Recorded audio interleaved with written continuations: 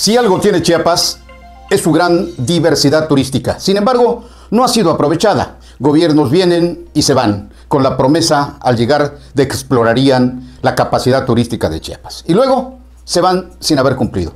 Por eso, desde Palenque, Roberto Albores envió un mensaje muy concreto. Enfatizó que como gobernador hará de Chiapas la nueva potencia turística de México con el ecoturismo, la construcción de grandes obras de infraestructura como la autopista San Cristóbal Palenque, así como con la instalación de un centro de convenciones y de un parque temático en esta región maya, la de Palenque.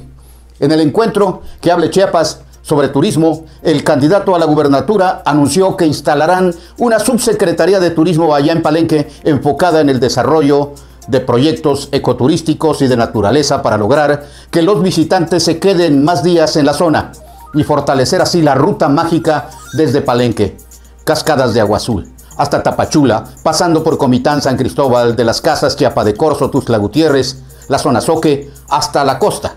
Escuchó a los prestadores de servicios y empresarios turísticos de la región, quienes demandaron el incremento de atractivos, asimismo como la urgencia de conectar a la región maya con carreteras seguras y de buena calidad.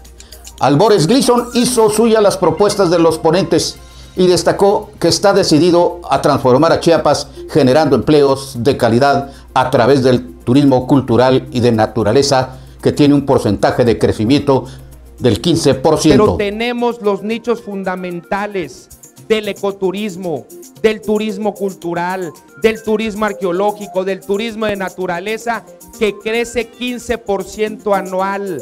Y esa se llama Chiapas. La nueva apuesta turística de México es en nuestro estado.